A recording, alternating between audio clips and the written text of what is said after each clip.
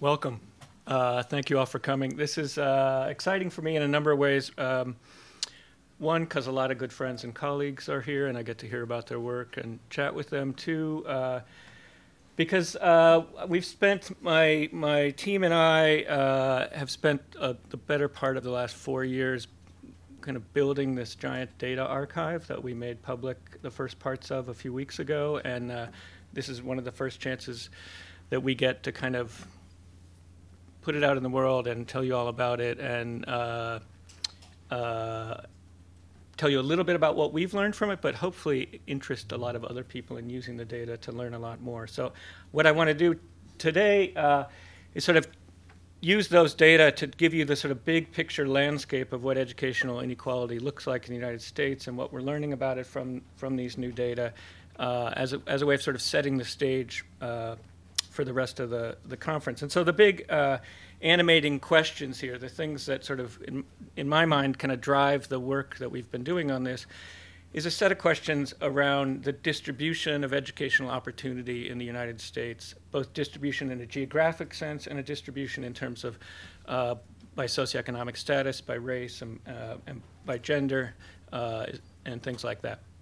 So uh, what I want to show you today is sort of an answer to this first question, which is how much do educational outcomes vary across communities in the United States. And we're going to be able to answer that at a sort of level of detail that's several orders of magnitude better, finer uh, resolution than any prior data has been able to. Uh, and that, so I think that opens up an enormous uh, set of opportunities for future research and learning about how to reduce inequality.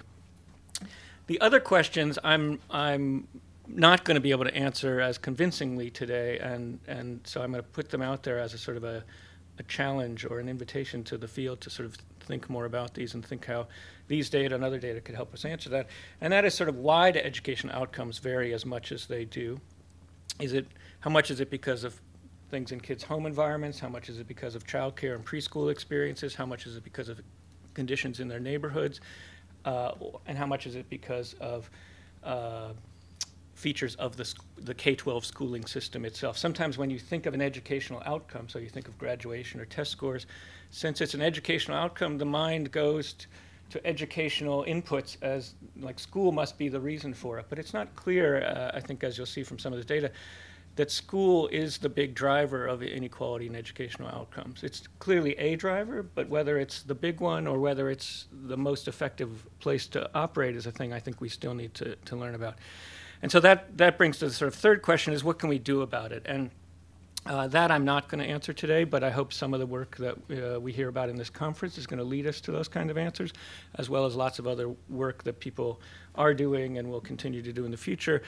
And for the junior scholars uh, in the audience, uh, you know, the, this is, I think, the, the pressing set of questions. Um, uh, I don't want to be the guy who describes educational inequality and leaves us just with a good description of the problem but no idea what to do about it. I, I hope that this leads us to figure out kind of what to do about it. So the data, uh, I'm going to tell you very quickly about the data today. Tomorrow afternoon, as Tom said, we're going to have a session uh, th that will describe where the data come from, how they're built, how they should be interpreted, what they can be used for, and give a chance for, for people to sort of play around with those data. But uh, what we have uh, is average test scores, standardized test scores for every school district in the United States on state accountability tests. Uh, the data I'll show you today is for about 11,000 plus school districts in the United States. Uh, some small ones are not included. Uh, the, da the, data cover grades 3 to 8. They cover math and English language arts tests. Uh, they cover the years 2009 through 2013. We have breakdowns by uh, race, ethnicity, by gender, by free lunch eligibility, by English learner status, uh, and so on. Uh, in total, the data is built on a, on a 215 million test scores. That's every standardized state accountability test taken by a third through eighth grader in the United States over that five-year period.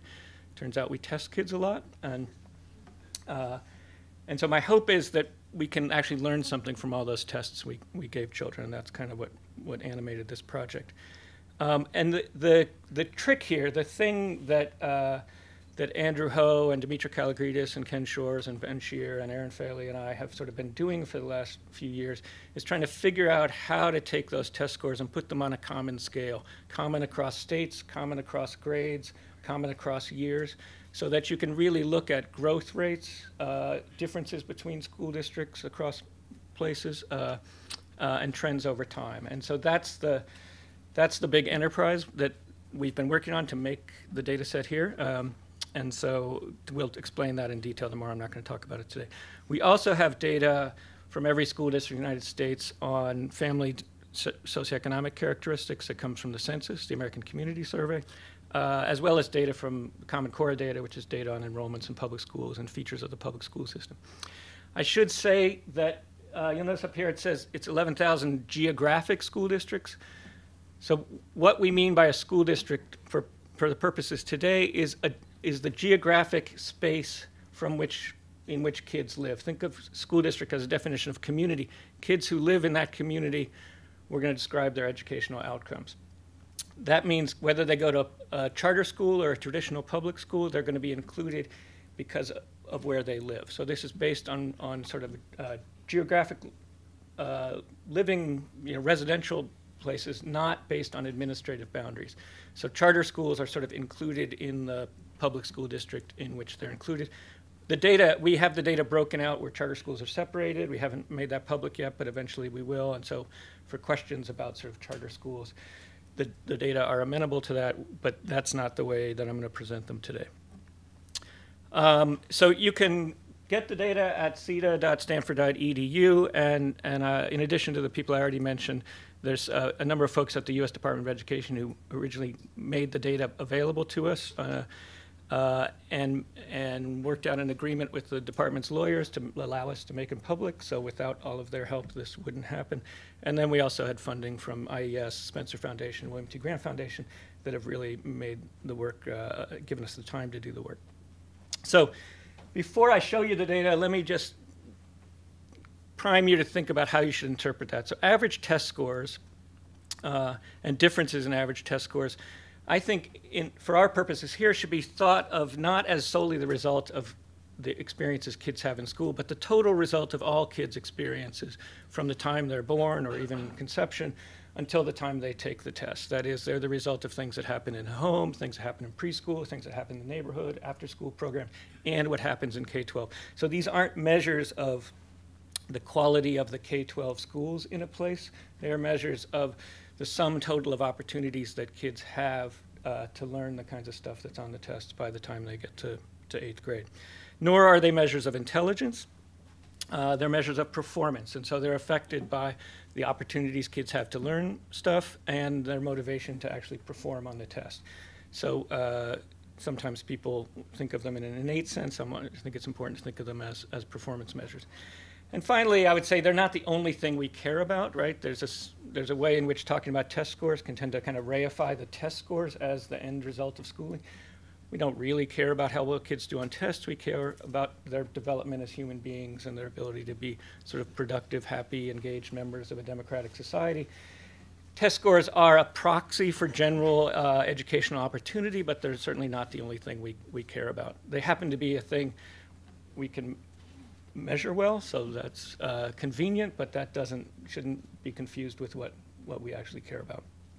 Um, so uh, what I want to talk about is is this map. So this is the map that shows average uh, test scores averaged over all the grades we have, all the subjects, all the years we have uh, at the school district level, and uh, these are we've measured them in this scale in grade level equivalents. So the dark purple is more than two and a half grade levels below the national average for the grade kids are in, and the dark green is more than two and a half grade levels above the national average. So you can see there's an enormous amount of variation in the academic performance of students across the country. There are big parts of the South where achievement is, is you know, one to two or more grade levels below average for large regions. There are parts of, of uh, New Jersey and New England where average achievement is, is two grades or more above average for lots of places, and then there's a lot of variation within states uh, around that. So that's a huge amount of variation, and so clearly kids grow up in different places with different amounts of opportunities to learn. so the question is why. Uh, so the first thing we wanted to look at is to what extent is that variation related to kids' socioeconomic status, the socioeconomic conditions of their families. So for every school district, we construct a measure of the, the average socioeconomic conditions uh, in the community. So this is sort of an index of family income, parents' education levels, uh, poverty rates, SNAP eligibility rates, unemployment rates, and single-parent household rates, I think. Uh, and so zero means sort of average, and positive means above average, and, um, and negative turns out to mean below average. So you can see there's this enormously strong correlation between the academic achievement of the average student in a school district and the average socioeconomic family conditions in that school district. That correlation is about 0.8 to 0.85. That's a huge correlation. That means that socioeconomic conditions alone are an incredibly powerful predictor of the average performance of kids. Remember, this is average performance of kids. That's not to say there aren't kids in those school districts on the left that are performing well above the national average, and there are students over here who are performing well below. But, but the means are quite highly correlated with socioeconomic conditions.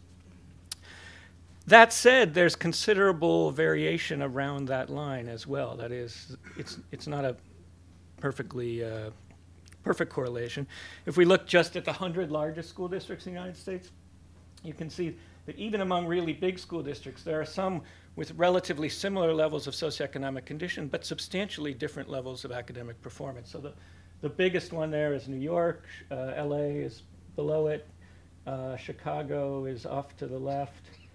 Um, and you can see, you know, LA and New York don't differ that much in socioeconomic conditions, but New York average achievement levels are a grade level or so above those of Los Angeles. So clearly, socioeconomic conditions aren't destiny, though they are powerful predictors. And so trying to understand, A, what besides socioeconomic conditions is relevant, but B, what's the mechanism through which socioeconomic conditions relate to achievement? It, it may not be what's happening in families. It may be that the neighborhoods are better, and or it may be that the preschool opportunities are better, or maybe the, the K-12 schools are better in those places. That is, it, it's not clear what the mechanism of this. It's just clear that uh, there's a very strong relationship. You might have noticed in the map before that, that Massachusetts was sort of greenish uh, on that map, and California was sort of purplish on the map. Uh, uh so here's another way of looking at this. So now I've highlighted in white all the school districts in California, uh, and in red all the school districts in Massachusetts. And, and Massachusetts is higher achieving than California, not just because it has more high income school districts, it does, but that's not the, the real reason. The real reason is that even among school districts with the same level of socioeconomic conditions, school districts in California have much lower average performance levels than comparably uh, poor or low income school districts in Massachusetts. So that says that, all, that some of this variation uh, here isn't, isn't maybe even a local school district factor, but maybe have something to do with, with characteristics of the state. State policy, state funding for preschool, uh, state funding for K-12 education, particular education policies, and so on. That it's not, it may not be, and the solutions may not sit locally to some extent. They may sit at a, at a, at a different level. So if we come back to our picture here, um, these are the uh, these are the this is the map I showed you before. If we adjust for socioeconomic conditions, uh, we get this. So now we've sort of we're basically measuring how far above or below that that the center of the regression line I showed you before is. And now the South doesn't look nearly so bad, right? A lot of the reason why test scores are low in the South is because poverty rates are very, very high in those uh, along that the black belt of the South. Massachusetts doesn't look so great. Massachusetts partly is doing well because its students are coming from uh, much higher income families. California still looks kind of lousy, right? Uh, uh, maybe not quite as lousy as before, but there's a lot of purple there. If you zoomed in, you could sort of see some some green in, in our local environment here, but you'd also see some not so green if you went over into East Palo Alto, for example. So there's a lot of small scale variation that's a little hard to see at that scale. So the next thing we, we've looked at with these data is the extent to which achievement uh, grows from, say, third through eighth grade. So if you follow a cohort of children from third grade in 2009 to fourth grade in 2010 and so on, and say how, how, how do they improve? Because in some sense, uh, that tells us something about their opportunities in the elementary and middle school years rather than opportunities that may uh, have accrued or, or not been there in the earlier years. And so if we look at that, we're going to compute the average change in scores between third and eighth grade.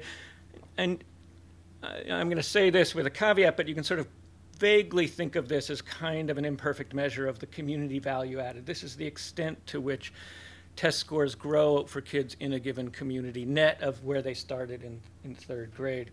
Um, and it might, I think, in some ways, you could think of this as more a measure of uh, place-based opportunity than the average scores, because average scores might be driven a lot by selection, by who moves into a community. So if you have a lot of highly educated parents uh, who are investing a lot of time and money in their kids, they may be doing well by the time they get to third grade, but they might have been doing well by the time they got to third grade, no matter where they lived, right? But by elementary and middle school, the, the community, the school system, and opportunities in community may, may matter and may be evident in differences in growth rates. Now, that's, this isn't perfect, and so it's, uh, I don't want to overstate that, but I think it's, it's worth thinking of. If we look at a map of growth rates, so green, dark green now means uh, children are growing 25% faster in average performance than the average student in the country. So, uh, and dark purple is 25% slower than the average student in the country. So that's a sizable change. That means sort of, uh, you know, five years of growth in a four-year period, kind of catching up by a, a, whole grade level or falling further behind by a whole grade level. There's a lot of variation across the country in growth rates, but it's not patterned at all in the same way as the other one is. That is, you still see some purple, say, down in the south, but you see a lot of green in there too. You don't see nearly as much sort of solid green up in parts of New England. California doesn't look nearly so bad when you look at growth rates, right? Uh, so, so the, it turns out the correlation between growth rates and starting conditions is only about 0.2. That is, there's a, a very weak correlation between where kids are on average by third grade and how much they grow between third and eighth grade. So that suggests the factors that relate to it are quite different. So let me show you an example of that. So this is the this is the zoomed in map of levels. So this is where kids' uh, average scores are, and you, this you can see all the dark green here that you saw before. But you know, if you look at Washington D.C., dark purple. Okay, kids on average are scoring a, a couple grade levels below average. Look at Chicago over there. It's it's purple. Look at Detroit, dark purple. So some of the big urban school districts look quite bad when you look at average performance. But if we look instead at growth rates, Washington, D.C. is growing above average. Chicago is, students are growing way above the national average, more than 25% above the national average from third to eighth grade. Uh, Michigan is growing, students are growing below average, but not nearly as much below average as their average scores are.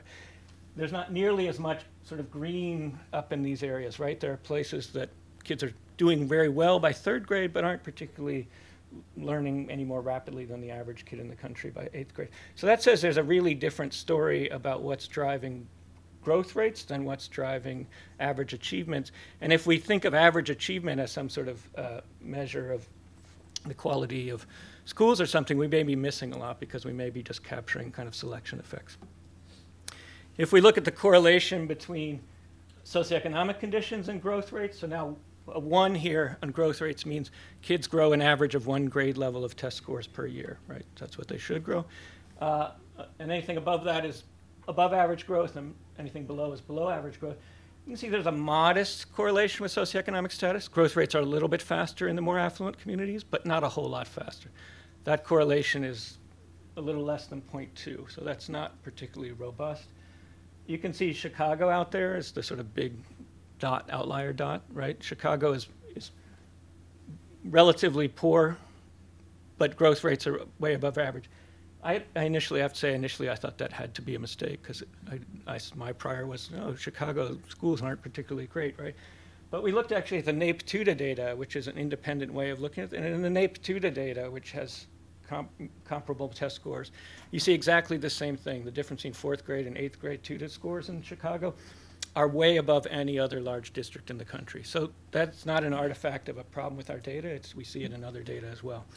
So that suggests there's, there's a lot of variation in growth rates and learning about what drives that could be really important for thinking about uh, how to improve schools in general or opportunity more generally. When we look at Massachusetts versus California, you don't see that same split anymore. On average, Massachusetts growth rates and California growth rates are about the same, conditional on socioeconomic status. Um, and then this map, this just shows if we, you know, I had the big scatter plot with all the dots, but if I took them all away and just did it, drew the line for third grade, that's the black line you can barely see. And then for eighth grade, it's the white line. So what this is saying is that the relationship between socioeconomic conditions and average performance gets a little bit steeper from third to eighth grade.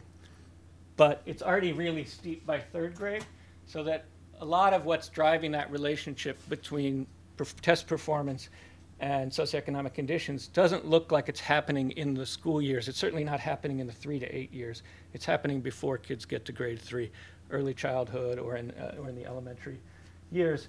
It gets a little bit steeper over those grades, but only about uh, 15% steeper. So a lot of a lot of the action is happening earlier than than our data, which suggests that if we want to think about, you know, where the real action is in reducing uh, inequality of opportunity, we might want to be thinking in the sort of earlier years, not the not the middle years. Um, uh, what is this? Uh, this is the SES adjusted growth rate. So this is growth rates, but now taking out the socioeconomic conditions. It's not terribly different than before. Uh, but you know, one like Tennessee stands out. School districts in Tennessee generally, kids are growing faster than you would predict based on the socioeconomic conditions there. Florida not looking so good on that, right? Um, and so here we can start to see some evidence that maybe there's some state conditions that might be relevant. The other thing I want to show you is just we did some very simple correlational regression analyses just to sort of see what factors about communities are related to both levels of performance by third grade and then growth rates from third to eighth grade. So we, this is from uh, a multiple regression model where we have a bunch of variables in and not some other controls that aren't shown. But what you can see is that a lot of these factors are strongly related to test scores at third grade, but more weakly are not related to growth rates. So, uh, you know, racial composition, percent black, percent Hispanic, percent Asian are strongly related to the test scores by third grade, but only weakly related to growth rates.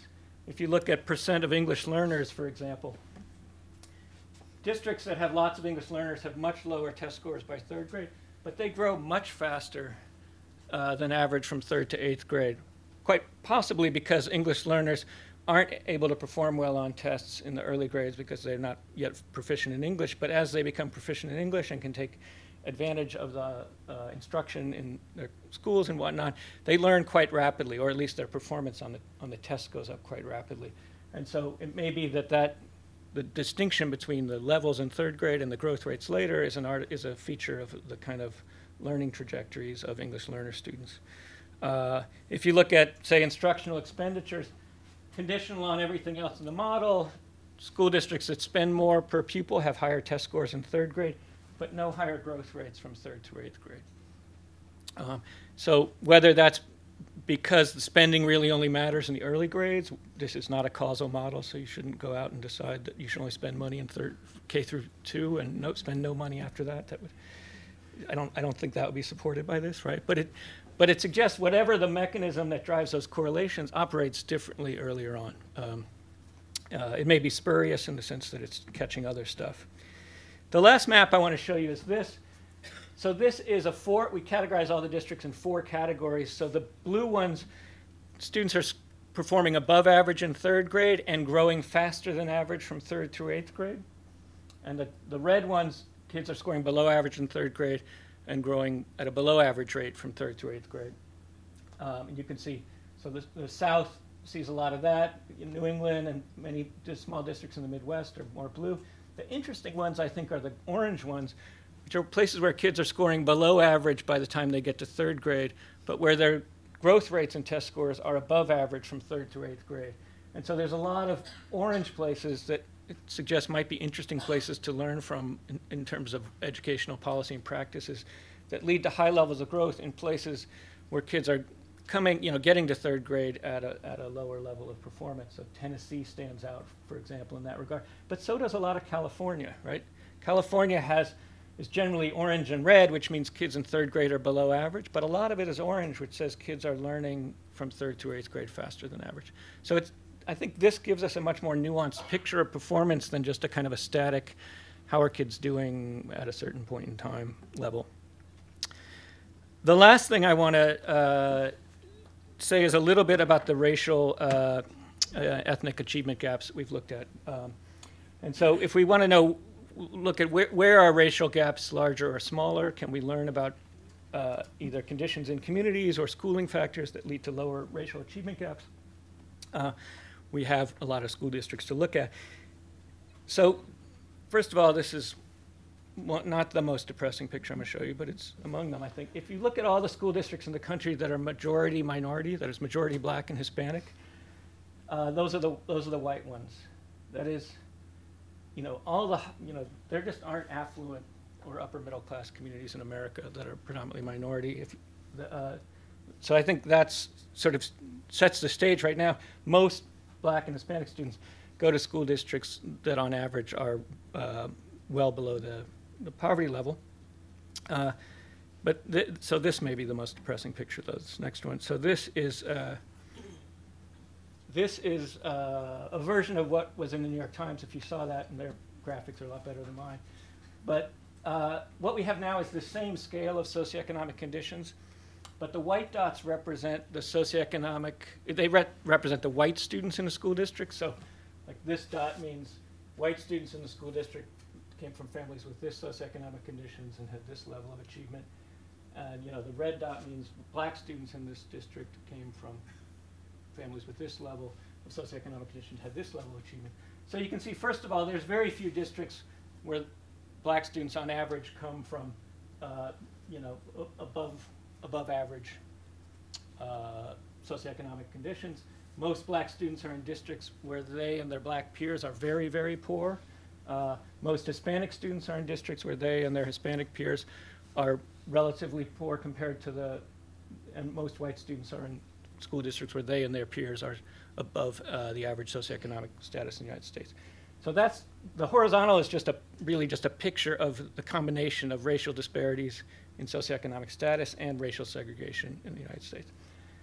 The vertical axis then is the achievement of, of those groups, and so you can see uh, white students have higher average achievement than Hispanic and black students, but even even black students are in school districts where, where they and their black peers are, you know, above average socioeconomic conditions. There are such places. They're not very big. They don't have very many black students. They have much lower average test scores than white students with the same socioeconomic conditions, right? Uh, in fact, there are 950 school districts in here that have black students. That's about, we only plotted school districts that have 100 or more black students per grade. So these are moderately large school districts. Um, but that's about 80% of all black students in the United States are in those 950 districts. And there are only 18 of those 950 school districts in which the average black student scores at or above the national average. That is, there's only 18 of these dots that fall above the line. The other 932 school districts that black students are in uh, the average black student scores below average. And the opposite is sort of true for whites. There are very, very few school districts where the average white student scores below the national average. Uh, there's a lot of reasons for that, but none of them are excusable. Uh, so I, that, I think that this actually was a more depressing picture than I imagined it would be when I started to make it. So, so the next thing we did was we tried to see what factors in school districts uh, are related to the size of the achievement gap. And so the first uh, candidate is just in school districts where whites are more affluent than blacks, where white students have more educated parents or higher incomes than, than the black students in the district. That's what this measure is. It's a sort of difference in the average socioeconomic status between whites and blacks in the school district. And the vertical axis now is the achievement gap, the black-white achievement gap. And here it's measured in standard deviation units, not grades like I was measuring it before. So multiply this by three to get grades. That is, the largest black-white achievement gaps are about more than four grade levels difference, so these are huge. But you see this very strong relationship between the socioeconomic disparities in a district and the achievement disparities in a district. Uh, so, but even places where there's no racial socioeconomic disparity, that is, even over here where the black and white students in the district have the same levels of income and education and poverty, the average achievement gap is still more than a grade level, right? So socioeconomic disparities don't explain the gap entirely, and, and we don't have, even in places where we don't have a socioeconomic disparity, we still have a big racial gap. The other thing about this picture that I think is important to note is there's essentially only one school district in the country that has an achievement gap near zero. Of the several thousand school districts that we have shown here, and, and that's this one over here, and this is Detroit. So Detroit has no achievement gap, no white-black achievement gap, largely because, not largely, but entirely because uh, the white students in Detroit are just as poor as the black students in Detroit and score just as badly on standardized tests. In fact, white students in Detroit score lower on standardized tests than black students do in Washington, D.C. And Washington, D.C. is this up here. Washington, D.C. has one of the biggest achievement gaps in the country. Uh, so, so Detroit is not the example for how to eliminate the achievement gap in, in America. Yeah. uh, that's, uh, it, I mean, it does have no achievement gap, but that's not the way to do it, right? Uh, where are the places with the big achievement gaps? So there, there are kind of two kinds of places. One is they're big cities uh, with large socioeconomic disparities. So Atlanta, Washington, D.C., Oakland. These are big urban districts where the whites are much, much more affluent than the blacks, right? Think of, think of the north-west, uh, southeast divide in D.C., for example, right? Or the north-south distinction, segregation in, in Atlanta. Those are places with, with big racial disparities in socioeconomic condition and correspondingly large achievement gaps. The other places, though, are Evanston, Chapel Hill, Berkeley. Those are the kinds of towns that most of you will spend the rest of your lives in, uh, which suggests you have an opportunity to do something about this. Uh, but, but these are not places where there's uh, there, there is a sizable so socioeconomic disparity, but they have much larger achievement gaps even than you would predict based on their socioeconomic disparities, right? Uh, and so what's going on there? Well, one factor for some of these districts is segregation. If we look at the relationship between the achievement gap and this measure of segregation, this is a measure of the difference in the poverty rates of the schools of the average black students and the average white students in a district, uh, which is sort of consistently the measure of segregation that's most strongly related to achievement gaps. Places that are more segregated, that is where black students go to high poverty schools and white students go to low poverty schools, have bigger achievement gaps net of everything else uh, than, than less segregated places. This holds up in every regression model we have, no matter what kinds of things we put in it, this measure of segregation is always strongly related to the size of the achievement gap. So, so, that's, so those two factors, socioeconomic disparities uh, in family conditions and racial socioeconomic disparities in school enrollments, that is high, high poverty schools, are, are two of the three strongest predictors of the achievement gap. But the, the third one, the third predictor is the average level of socioeconomic conditions in a school district. Affluent communities have bigger achievement gaps than less affluent communities, net of everything else. So, you know, if you went back to this picture here, think about, you know, places that are up here where the whites are really affluent and the blacks are less affluent but still middle class those places, the, the disparities sort of here are much bigger than the disparities in, in poor places. The, uh, so this is, I think, somewhat surprising because it suggests that even in the places that have a lot of resources, where you think maybe we would be may making the most progress in reducing the achievement gap because the schools are well resourced, re resourced the communities, the neighborhoods aren't terrible, right? Uh, that maybe we would that would be the kind of place we should look at. But those places actually, on average, have bigger achievement gaps than, than places like them, that is, places with equal levels of disparities, uh, that are poorer. And so I think one possible story for that, though we haven't tested yet, is that in places like Chapel Hill and Evanston and Berkeley and other affluent uh, kind of communities, the competition for educational success is, is sort of ratcheted up. And in those places, disparities in resources matter a lot more than they do in places where there's not this sort of heightened uh, parental anxiety and competition around educational success. So uh, a racial disparity between whites and blacks and family resources matters a lot more in, in Berkeley or Chapel Hill than it matters in, in Oakland, for example, be, because of the, the kind of competitive or anxious environment around it. That's my hypothesis. We haven't, we haven't tested it yet, but um, sometimes people say, well, are the achievement gaps bigger because white students are doing a lot better or because black students are, are doing worse when you look at things like segregation and affluence?